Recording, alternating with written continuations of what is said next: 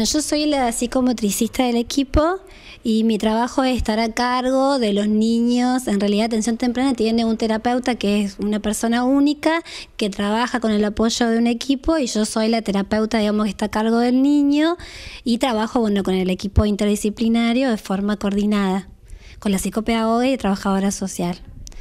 ¿A quiénes está destinado esto de atención temprana? Eh, la atención temprana está destinada a niños de 0 a 3 años que tengan una alteración en su desarrollo o un riesgo de padecer alguna alteración.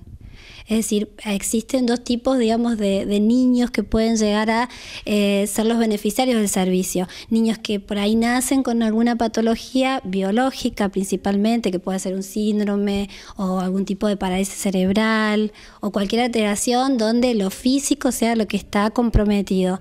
O niños que por ahí nacen normales, sin ninguna dificultad en su desarrollo, pero que están inmersos en un, en un contexto socioambiental desfavorable, entonces esa situación puede llegar que en algún momento pueden provocar un, trastorno en su desarrollo. Por ahí situaciones de pobreza extrema, de familias numerosas, eh, padres con algún tipo de adicción. Eh, también los niños que se encontrarían dentro de las situaciones de riesgo serían los niños prematuros.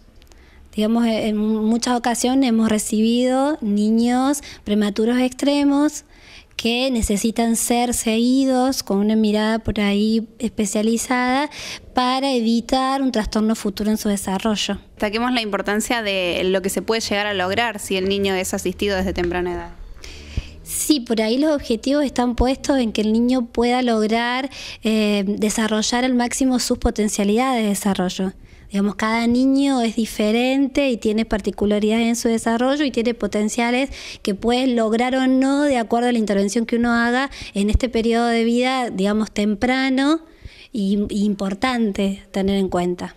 ¿Qué cantidad de niños se tienen hoy por hoy aquí dentro de, de la escuela? Nosotros tenemos los niños que atendemos eh, de forma directa. Y después de forma indirecta, este servicio se presta por ahí a, mucha gente de la comunidad porque hacemos acciones de prevención donde si bien no trabajamos directamente con los chicos, sí en forma indirecta, por ahí con las familias, haciendo entrevistas, eh, por ahí transmitiendo pautas de desarrollo importantes a tener en cuenta.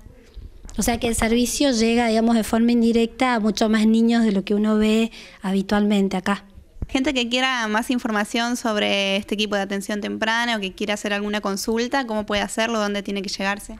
Se puede acercar acá a la Escuela Crecer eh, de todos los días, de lunes a viernes, en el horario de 13.30 a 17.30.